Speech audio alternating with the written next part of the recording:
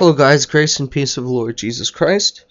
Um, this is going to be a response to uh, Sidewalk's um, response to me, and I do want to thank you for for making that response. Let's get to work. Hello, James forty eight eight nine zero seven four three. Um, thank you for making your video response. I really appreciate you taking the time uh, out of your day to do that and attempt to answer my questions. Uh, you pretty much answered my questions in a way that I would have expected your typical Christian to, and I don't mean that in a bad way. I'm sorry, but those answers were very simplistic and, and it's exactly the type of thing that you'd hear the, the type of soft um, god can do anything type of answers and and I'll, I'll touch on that. I'm not just gonna say that, but your first um, point was that most of the Christians that you know that are good Christians uh, became that way because they questioned their faith, and through self questioning, they were able to discern that their faith uh, was in fact well, that, that their faith in fact suited them. I think I need to reiterate on that a bit.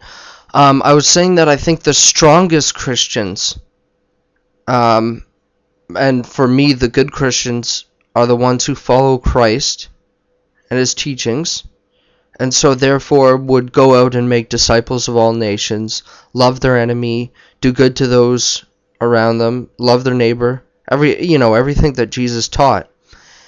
And I said those are the ones that actually don't just take it by blind faith because we don't find any proof of that in the scripture to, to just take things on faith uh, as that saying goes it's that actually the bible says to test all spirits to seek out seek and you will find knock and the door will be open to you to look deeper into things and not just on the surface.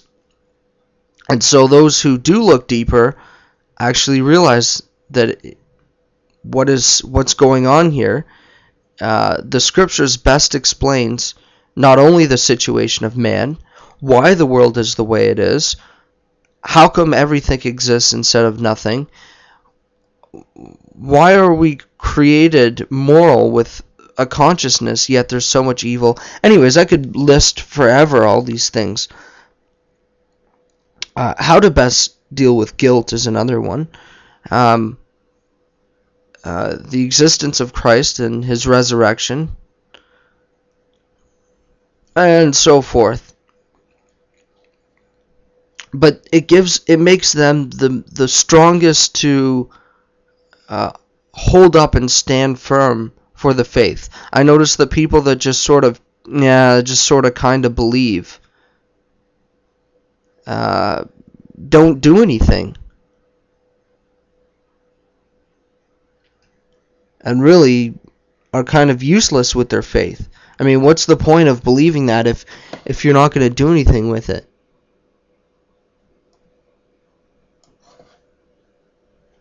And uh, Jesus parable of the ten talents he gives to various people is a good example of of you know let the talents represent people's faith.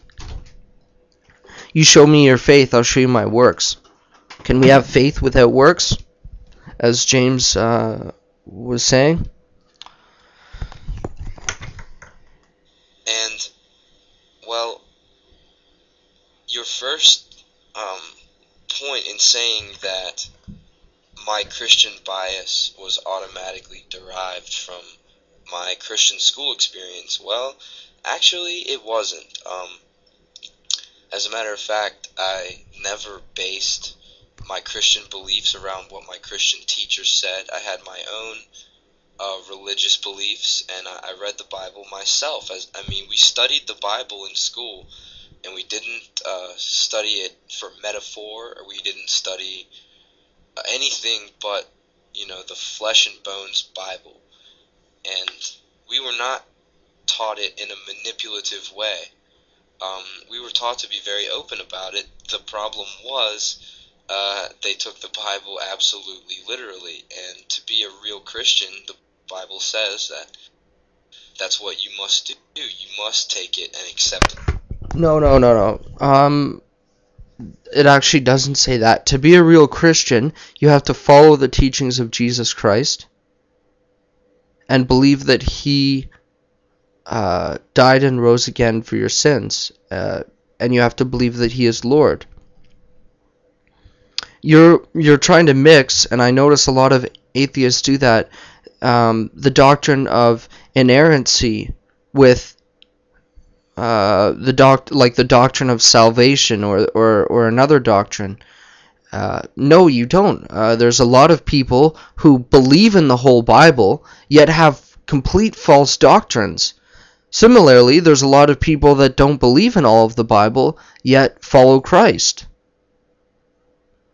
So, uh, I wouldn't I wouldn't say that that that's that's actually false what you're saying. Um, uh, it's a combination of the two, but even still, you don't have to believe in all of the Bible if you don't want to. But to be a Christian, you have to believe in uh, all of what Christ did for you and stay true to his teachings. Now, like some liberal cr Christians um, will take like the founding of Israel as something that Jewish people just made up. Uh, like the uh, Roman story for Romulus and Remus. For the Word of God. And unfortunately, that's something that I'll never be able to do. You see, men wrote the Bible, just like every other book. And even if God told these men what to write, uh, these men are the vessel filtering the words of a perfect creator. They're not going to come out quite as they went in. In other words, when you have men with human flaws uh, writing a book, no matter what, it's going to have flaws. Well, great point. And actually, a lot of people don't understand this. And I know a lot of people, a lot of Christians say the Bible is the Word of God. Well, that's actually not what the Bible teaches. The Bible teaches that Jesus is the Word of God made flesh. John 1, uh, verse 1 to 3.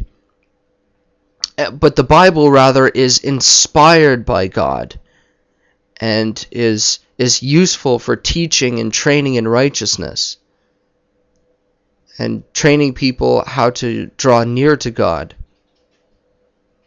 And it contains the words of God, where God spoke through to prophets. And it has divine commands of God, some for certain situations, some general rules to follow. And others direct commands that everyone who believes uh, in Jesus must follow, like to love your neighbor as yourself, or to love God with all your body, heart, mind, and soul. Nothing is perfect, and nothing that man can create is perfect. Um, I'm sure that you would agree with me from a Christian standpoint. If God's perfect, certainly we could never replicate something perfect. So to say that the Bible is the perfect Word of God, it's kind of a conundrum because. Well, if the Bible um, is God inspired, as we say, then He certainly ordained what was going on with it, and. Uh, would keep his word uh, or keep the the words that are in it that are that he spoke together and in its original context. And uh, it, I think that you're you're trying to mix a few doctrines together with the uh, inerrancy doctrine. And I would um I would suggest that you make a video about some of the problems you think are in the Bible and why for you it can't be the word of God, where where you think men kind of muddled in with things. Stay tuned for part 2.